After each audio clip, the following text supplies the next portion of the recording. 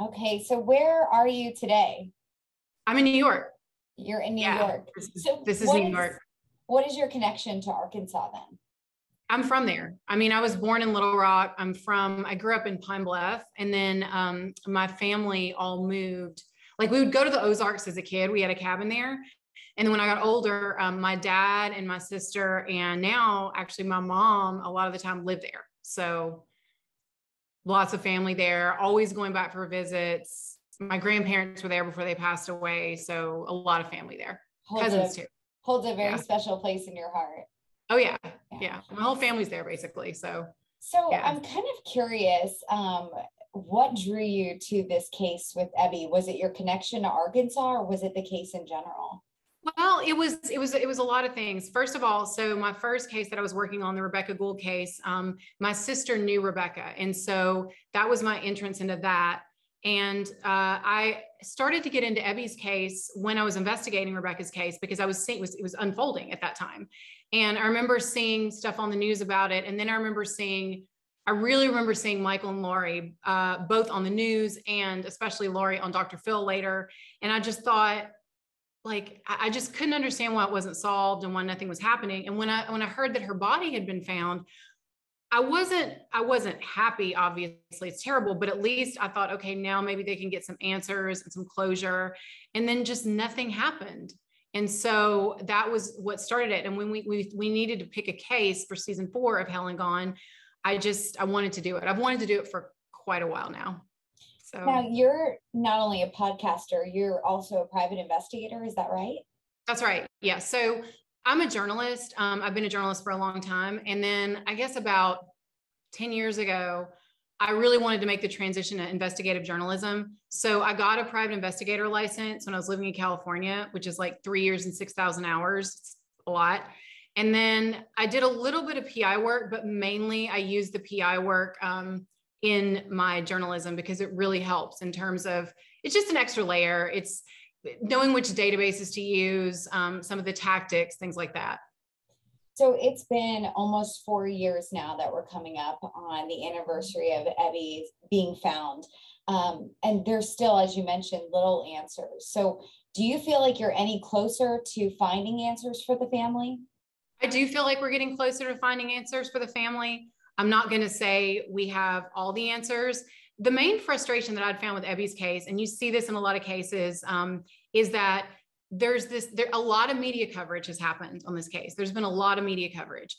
And yet, when we really started to dig into it, we found that a lot of the things that had been reported were incorrect for a variety of reasons um, and just the some of the story was wrong and so that's a problem because if the if the story is wrong then you don't know what questions to ask or where the investigation is going to go and so i feel like we were able to clear up a lot of that um, fill in a lot of the blanks and hopefully get closer to some answers I want to talk to you about the theory that Ebby put herself in that drainage pipe. That has been, you roll your eyes at it. So I, I kind of would like to know your thoughts on that.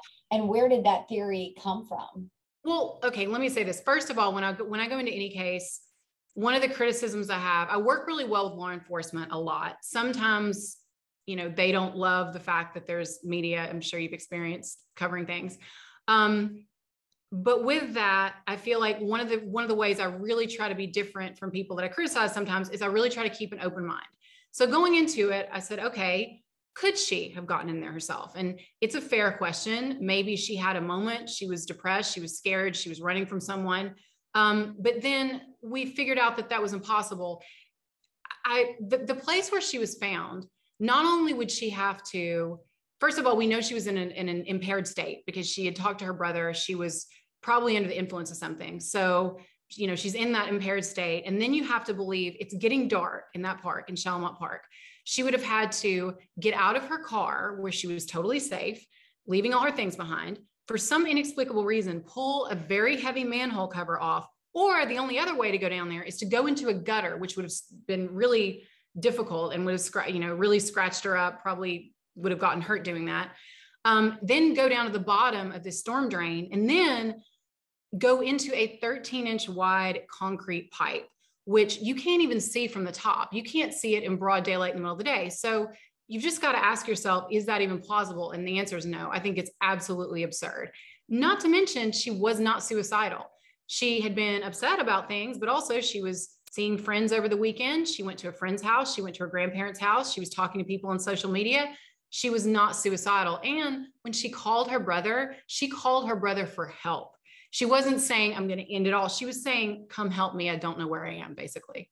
Where did that theory come from? Were you told that by someone? I know that it's mentioned in your podcast. Um, yes. Yeah, so where did it start? I mean, I think I think it was something you've got to consider. So we did consider it. We ruled it out really early on. Um, and uh, the so let me get this right. So Ebby's mother, um, Lori, has been talking with the new investigator on the case, uh, Bruce, and there was an email sent from Bruce to Lori that said something like, the only conclusion I, we read it on the podcast, I don't have the exact wording, but it's like the only conclusion that we can come to is that she must, she might have, you know, the, the only thing I can, the only conclusion I can imagine is that she must have crawled down there herself or something like that. Um, he's sort of implying that he believed that that was a possibility. And at that point, I just thought, you know, I just completely disagree with that. I don't think there's any way that could have happened. And you actually went down there yourself. Yes. I went down there. And so uh, I am, I'm a lot bigger than Ebby. She was, I'm 5'11, she's about 5'1, but we're about 20 pounds apart in weight. So she was still a lot smaller than me, but, but it's like comparable. So I went in there and when I went into the pipe, the first thing you figure out is that you can't just crawl in. In order to get in that pipe, well, there's only two ways. You either have to put your arms out in front of you, like Superman, and go in that way, and then you can't move. So, who would put themselves there like that? Or the other way, and it's just the same same situation reversed. Your feet are down there first, your hands are like this, you can't move. Um, there's just absolutely no way that anyone would put themselves down there like that. Not to mention, you would have to know the pipe was down there. You know, I, I kind of keep coming back to that. When you put when you pull up the manhole cover, we know that so Ebby went missing on Sunday, and uh, she went missing on Sunday, October 25th. Her family was out looking for her. Her dad and her aunt, uh, her stepdad and her brother specifically went to that place on Friday. They lifted the manhole cover, and she was not down in that storm drain. So that means that her body was already in that pipe. Someone put her in that pipe because they knew that pipe was down there. And to know that pipe is down there, you have to know that park really well. It's not the kind of thing you just stumble on at all. Do you have do you have any theories about what happened to Ebby? Do you think you know who killed her? Um, I wouldn't go that far, but I would say we have I definitely have a couple of people who's I have I definitely have a couple of people who have questions about there's stories that are not matching here and what I don't accept is when the investigators say, oh, this is where, you know, the investigation, it's, it's a stopping point. It's not. There is at least one person whose story absolutely does not match, needs to be checked out. Not saying this person did anything, but I am saying you've got to look into this. If you've got a person who's giving information to the police, we're finding inconsistencies, you need to check it out. My theory right now um, is that she, my theory right now, she was obviously on something um, I don't know if that was alcohol, maybe she'd been smoking pot, um, maybe some other type of drug. And it really could have been this is right when fentanyl was kind of becoming a big deal in Little Rock. It could have been even something she took accidentally. But whatever she took put her in a state that she was clearly in trouble. She needed help. Um, I think that she possibly could have been with some of the friends who we identified. We know she was at the park with these people um, at different times. And I think they may know that she was there that day and not be coming forward. But in terms of the actual position of the body, I really believe that it's possible someone stumbled upon her in that, you know, someone found her when she was vulnerable and in that state and either took advantage of her or maybe confronted her and things went wrong. And then at that point, they needed to cover up what they did and they put her in the pipe. Do you give this information that you find to police? And if so, what is their response to you? Yes, I have given it to police. I have given information to the police little by little um, and not always everything. Also, I give a lot of the information to Ebby's mom. She talks to the police. So I know that the police are getting this information one way or another. And um, to be honest, it's been it depends on the investigator. Some investigators are open and receptive to receiving it. Other investigators sort of have tried to not shut it down, but just sort of like, for example, um, the security guard I had questions about. And uh, I said to, well, so I was speaking to, you know, Ebby's mom and she's talking to the investigator. And he said, she, she said, well, has anyone, you know, checked this person out? And he said, well, uh, he's had his, he's had a background check because you have to have a background check to be a security guard. That would be the answer. And to me, that's not an acceptable answer because it's just, don't you want to check it out? Don't you want to know? Don't you want to dig into this and see if, if there could have been something someone missed? Because I mean, not to criticize anyone, but obviously there's something someone missed because if there wasn't, the case would be solved. So yeah, I, I've, it just depends. So, how much longer do you think you have for this podcast? Um, and do you think we'll see some real answers by the end of it? Because you're kind of doing this podcast as the investigation is going on. Yeah. Well, we're finished with the season. We just finished. Um, but I've said I'm not going to stop our investigation. Uh, we're keeping our tip line open. Um, and we're also, now that the podcast has been out for a while, plus we get a lot of new listeners who sort of binge everything at the end, you know, they like to hear everything at once. So we're getting a lot of people coming forward now. I, I really feel like the case was sort of stuck. Uh, it was in a place where a lot of people thought, okay, Ebby had contact with some people um, on, everyone knew about Friday night when she went out and, um, you know, there was this sexual encounter with a guy. She got concerned that he might have filmed it without her consent. Um, and then she was sort of back and forth over the weekend with a couple of these guys. Um, everyone kind of knew that that she might have had conflict with a person from Friday, but that's where the story stopped. There's no understanding that there was a completely different group of people who she went to the park with. She had other plans on Saturday. Saturday night is a big question mark. And we've also just recently learned um, from the police that they apparently had their timeline wrong. So all this time, they've been telling uh, Ebby's mom that they knew exactly where she was on Friday night and Saturday night. They just didn't know on Sunday um, for a small period of time. And now, of course, they're saying, okay, actually, they seem to be saying we don't know where she was on Saturday night. And to me, that's a huge piece of the puzzle because that's that's obviously so crucial. That's the period right before, you know, right before she went missing. So, you know, what would you like to see come out? Do you think there's going to be a second season just because the season's over? Do you is your work going to continue? What's the plan from here? Oh yeah, I mean, we're absolutely going to continue with this case and I think we'll definitely do updates as they come along. I don't know if we'll do a whole nother season. It just depends. We could, but we will definitely be doing updates on the case as they become available. Um, and I just, I mean, I, it just feels to me like a lot of people are coming forward now. There's a lot of new information coming out. And it does feel like the kind of case where it, something could happen at any minute because also we're not talking about that long ago. Um, but enough time has passed that people might have gotten a little older now. Maybe they're they've had kids of their own. They're feel differently about things than they did when they were maybe 17. And people might be more willing to come forward now. And, and that's all it takes. All it takes is one person sometimes. Ebby's mom had mentioned to me too, um, you know, her wish is for these people, the, the people that you interviewed, you or you attempted to interview to come forward and be questioned by police just as she and her uh, Ebby's stepfather were. Uh, oh, yeah. And that's what she's she's pleading for. Um, I mean, that, that people come forward.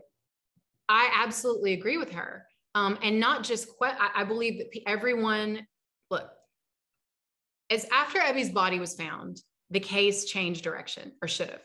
It, it became about who was around Chalamont Park that day and the day before. So, yes, everyone in the same way that Laurie and Michael were questioned, you know, they they were tracked. Um, they were, um, they, you know, police used geolocation to figure out where they were.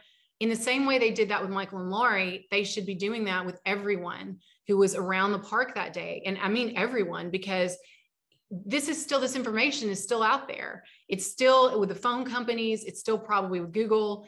And it's just, it's so frustrating that, that it just feels like we're missing one piece. I said in the podcast, it feels like the end of the usual suspects where you're backing up from the board and everything starts to kind of come into frame. It just feels like we're missing one piece. And I would I would love it if um, the people who maybe over the years have been mentioned in connection with this case would talk because I understand that not everyone wants to talk to the police for a variety of reasons, but the truth is, you know, un- until people are publicly cleared, their lives are affected too. I mean, they're having to walk around with their names getting whispered and things like that. And, and that's not right either. What should have happened is everyone should have been, their phones should have been, sorry, their phones should have been searched. They should have been properly questioned. Their, uh, everything should have been geolocated. Um, and their location should have been verified. If that had happened, I believe this case would have been solved very quickly. And that's even you know, not to mention, obviously, her body should have been found a lot sooner. And my last question to you is this case right now is classified as a homicide. But when we go back to what you were told, that this theory of Ebby putting herself in there, how does that stand up to what this case is classified as? Well, okay, so I haven't seen the case file, obviously, because they don't share any information, um, which I understand my understanding, I've heard different things. I've asked the question directly many times. I've never quite gotten a totally straight answer. I believe that they said um, that they're investigating it as a homicide until they rule it out, which probably means it's undetermined. They don't know. Um, I, I, would agree with that. My, my, I agree with Tommy Hudson. I agree with the investigator who said the main reason, um, barring any other forensic evidence, you'd investigate as a homicide is because of where the body was. She couldn't have put herself there. And so then you, and, and also the way the car was found and just a lot of circumstances around there that to me really suggest a staged crime scene. You've got a towel coming out of the door. You, it, it looks like someone put her down there. And we need to know who put her down there and why. And that's obviously the goal. And I hope you figure that out. I really do. Thank you. I just want to, I, I really want to get justice for them. I mean, Lori has been such an inspiration to me and to everyone um, working on the case. Every time I get the podcast edit back, someone's crying. It's just, it's it's really touched a lot of people, and we just want to get answers and justice. And I really believe it's not. I mean, I really believe the answers are out there somewhere. We just need a few more people to come forward.